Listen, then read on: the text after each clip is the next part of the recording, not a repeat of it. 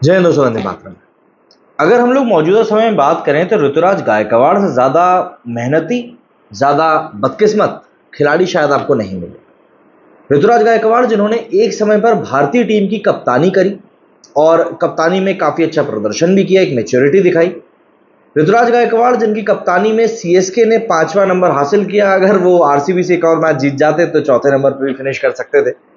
वो भी तब, जब सीएसके काफ़ी सारे मेन खिलाड़ी खेल नहीं रहे थे या फिर आउट ऑफ़ फॉर्म थे? और सबसे बड़ी बात, ऋतुराज गायकवाड़ ने जो कंसिस्टेंसी दिखाई है, जो इंटेंट दिखाया है, जिस तरीके से वो खुद को अप्लाई करते हैं, जो उनकी लेवल ऑफ़ मेच्योरिटी है, वो सारी चीज़ें ऋतुराज गायकवाड़ को एक वर्ल्ड क्लास प्लेयर बनाती हैं। लेकिन उसके बावजूद भी मैं ऋतुराज को बदकिस्मत क्यों कह रहा हूँ?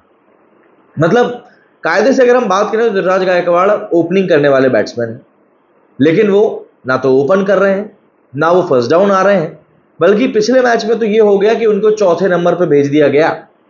हाँ अब मैं जानता हूँ कई लोग ये बोल सकते हैं कि यार, एक टीम मैन होने का तो यही मतलब होता है कि आपको जब जहाँ पर खिलाया जाए, आप खेलो। बिल्कुल सही बात। है लेकिन, क्या वाकई में इस टीम को ज़रूरत थी कि ऋतुराज गायकवाड़ चौथे नंबर पर आए? सवाल ये। ऋतुराज गायकवाड़ के बारे में मैं इसीलिए ये चीज़ बोल रहा हूँ क्योंकि मौजूदा जिम्बाब्वे के साथ जो सीरीज़ चल रही है उसमें Ruturaj Gaikwad top run scoring batsman है 139 कुछ उन्होंने रन बनाए।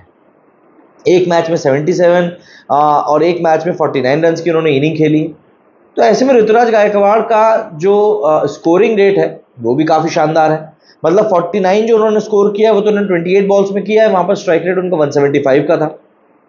लेकिन इन सबके बावजूद भी ऋतुराज गायकवाड़ को लेकर कभी भी कोई पॉजिटिव बात सामने नहीं आती। मतलब हम लोग कई सारे खिलाड़ियों को देख रहे हैं, जिनको की टीम में स्टैब्लिश करने की पूरी पूरी कोशिश की जा रही है। रिंकू सिंह को भले ही वर्ल्ड कप में मौका नहीं मिला, लेकिन हम सब जानते हैं कि रिंकू सिंह को कितनी ज़्यादा तगड़ी बैकिंग मिली हुई है मैनेजमेंट की तरफ़ से। लेकिन जब बात ऋतुराज गायकवाड़ की आती है तो कहीं ना कहीं बातें थोड़ी सी डिमिनिश सी होने लगती है। ऋतुराज ने एक बहुत बढ़िया मैच्योरिटी दिखाई है, बढ़िया गेम प्ले दिखाया है। स्ट्रैटेजीज उनकी काफ़ी अच्छी रही है इंप्लीमेंटेशन उनका काफ़ी अच्छा रहता है एग्जीक्यूशन उनका काफ़ी अच्छा रहता है। लेकिन इन सबके बावजूद भी ऋतुराज को इंडिया ए टीम या इंडिया की सेकेंड टीम का मेंबर माना जाता है कि जहाँ पर भी मेन खिलाड़ी नहीं जाएँगे, वहाँ पर ऋतुराज को भेज दिया जाएगा। जबकि मुझे ऐसा लगता है कि रोहित और कोहली के जाने के बाद अब शायद वो समय आ चुका है कि हमें ऐसे खिलाड़ियों को ग्रूम करना शुरू कर देना चाहिए, जो कि टीम को लेकर सीरियस रहते हैं, एक मेच्योरिटी के साथ में गेम दिखाते हैं।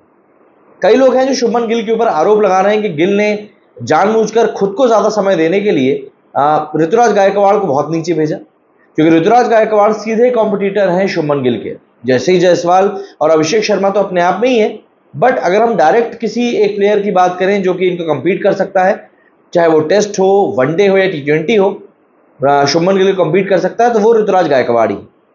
तो ऐसे में गिल की कप्तानी के ऊपर भी सवाल उठे यार ये तो सेल्फिश पना हो गया, इस तरीके से तो नहीं करना चाहिए, और ये तो सरासर गलत है, और तरह तरह की बातें यहाँ पर बट देखिए बात यह है कि जब आप एक टीम के तौर पर खेलते हैं, जब आप एक ग्रुप के तौर पर खेलते हैं, तब आपको कहीं ना कहीं ये सब चीज़ें पीछे छोड़नी होती है। लेकिन ऋतुराज गायकवाड़ के केस में मुझको मनीष पांडे की याद आती है, मुझे मनोज तिवारी की याद आती, मुझे दीपक हुडा की याद आती। ये वो खिलाड़ी हैं जिन्होंने भारत के लिए शुरुआत काफ़ी अच्छी करी थी। लेकिन क्योंकि इनको कंटिन्यूसली कंसिस्टेंटली मौके नहीं मिले, ये कभी खुद को प्रूव ही नहीं कर पाए। जिसमें सबसे ज़्यादा तो मनोज तिवारी का नाम आता है, जिन्होंने सेंचुरी मारने के बावजूद भी बाहर बैठे थे। इवन हम लोग एक पॉइंट पर तो ईशान किशन की भी बात कर सकते हैं, जो डबल सेंचुरी मारने के बाद बाहर बैठे। ऐसे में खिलाड़ियों का मनोबल टूटता है। खिलाड़ी के अंदर जो एक कंसिस्टेंसी की आग आनी शुरू होती है, कहीं ना कहीं वो बुझती है। शिवम दुबे रिंकू सिंह इन लोगों के वापस आने के बाद में एक बात तो तय थी कि वहाँ पर टीम को बिल्कुल एक तरीके से बैलेंस करने की कोशिश की जाएगी और जो नए खिलाड़ी आए हैं उनको मौका दिया जाएगा। लेकिन ऐसे में ऋतुराज गायकवाड़ की पोजीशन को लेकर लगातार सवाल खड़े हो रहे हैं कि अगर ऐसा ही ऋतुराज के साथ में चलता रहेगा तो ऋतुराज क्या करेगा यार? कहीं हम लोग इस भीड़ भड़के में एक बढ़िया खिलाड़ी को खो ना दें, ये एक बड़ा सवाल पब्लिक के जहन में मौजूद है। क्योंकि अगर आप देखें तो एक बड़ा खिलाड़ी बताता है कि मैं मैच को ख़त्म कर सकता हूँ, मैं मैच को जिता सकता हूँ या प्लेयर्स में फील्डर्स में कॉन्फिडेंट बढ़ाता है कि नहीं यार, मैं खड़ा हूँ तो मैं देख लूँ एंड ऋतराज में वो सारी क्वालिटीज़ हैं।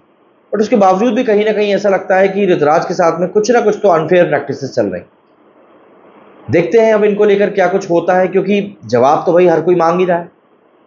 क्या कहना चाहेंगे आप लोग इस बारे में? कमेंट सेक्शन में जाके ज़रूर बताइएगा। मेरे इस वीडियो में फ़िलहाल उतना ही। जय हिंद, जय भारत।